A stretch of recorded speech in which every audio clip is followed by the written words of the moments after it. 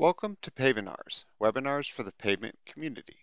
Today I'm very briefly going to talk about the use of recycling agents with RAS and RAP asphalt mixtures. And this is all coming from NCHRP report 927. Now before we get into the details of the effects of high RAP and RAS binder ratios, it's nice to look at some data, and in 2019, the National Asphalt Pavement Association, or NAPA, states that 89.2 million tons of RAP, or reclaimed asphalt pavement, was used in the United States, and just under 1 million tons of RAS, or recycled asphalt shingles, was used in the United States. And the use of these two recycled materials led to approximately $3.3 billion in savings, and that includes both asphalt binder and aggregate material costs of savings.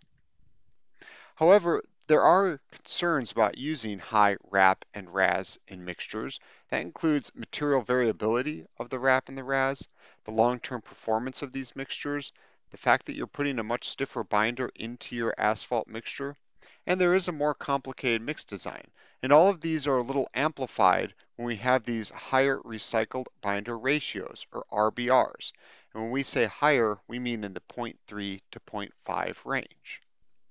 And you can see here the definition of the recycled binder ratio is simply the binder content of the RAP multiplied by the percentage of RAP used, added to the binder content of the RAS multiplied by the percentage of RAS used, and you divide all of that by 100 times the total asphalt binder content. Now there are three mitigation techniques available if we're using high RAP and RAS binder ratios, and that includes simply increasing the overall asphalt binder content, so you would have a higher binder content. You can use softer binders when adding to the RAP and RAS, and you can also use recycling agents or chemical additives. I do want to note NCHRP 927 had a very strong field component and explored multiple practical tools, but those won't be covered here because instead we're going to focus on laboratory asphalt binder and asphalt mix testing.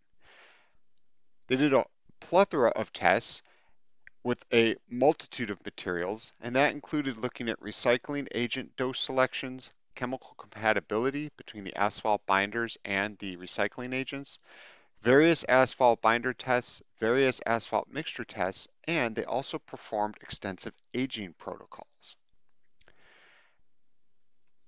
There were several key findings, and that includes when you have a high BRB binder blend, you want to make sure that you also explore long-term aging. And this is so you have compatibility and oxidation responses available to you. So if you're looking to use these high BRBs, then you need to also look at long-term aging in order to explore the compatibility and oxidation response. From an asphalt binder perspective, you want to look at the high temperature performance grade for high temperature properties, or PGH. For intermediate temperature, you can either look at T delta 45 or the Glover-Rowe parameter. And then for low temperatures, they recommend using the delta TC parameter. And they provided a suggested performance threshold for these three parameters in the report. Here is the suggested performance threshold for the asphalt mixture tests. And you can see they have high temperature testing, which included loaded wheel testing, and they recommend you look at the N12.5 for that. Intermediate temperature, you can see we have the Glover-Rowe mixture and the flexibility index. And then for low temperature, you have the BBR mixture, both the S sub M and the M value sub M, and also the confined low temperature tests where you get the CRI environmental. That's a very brief overview of NCHRP Report 927. If you're interested in learning more, here is the full citation, which can be found below along with the DOI.